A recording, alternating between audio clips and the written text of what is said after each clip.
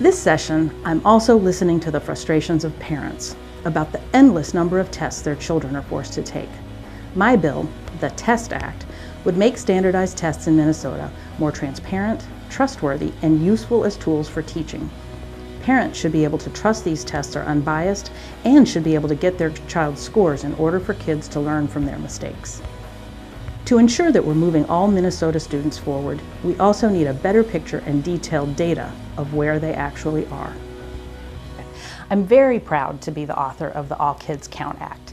Um, it's a natural evolution in the, what we're learning about our students and why that's important is it helps us target our resources most effectively and efficiently.